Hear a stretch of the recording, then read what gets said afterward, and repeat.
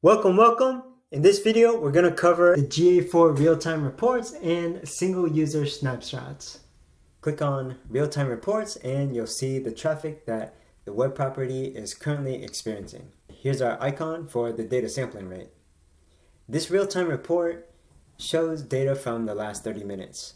You can see this geomap where all the users are and you can hover over various bubbles and see how many are in each bubble. So it breaks down the device category that the users are on as they're visiting your web property. You can view a user snapshot where GA4 will take one user and give you their recent activity. You can see their city, you can see top events, and you can click on any of these events to view the parameters. For example, page location and it'll give you the rest of this data here. It gives you a timeline so you can see what events occurred and in what order they were fired. As you can see, there are different icons for different events. The blue finger cursor clicking is a general event, and the green flag icon is for conversion events, and the orange bug icon is for error events. You can click through and view different users. And if you want to exit, go to the top right corner here and click on Exit Snapshot.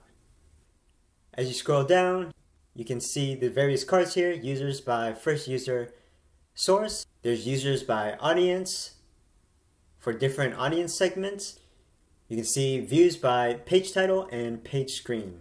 There's event count by event name, conversions by event name, and users by user property if you're collecting any user property data. And for each of these items, you can click into them where applicable. For example, for events, you can click into the events and view the properties or the parameters associated with those events. If you want a tutorial that covers events, conversions, and all the reports in GA4, check the link on the screen or in the description.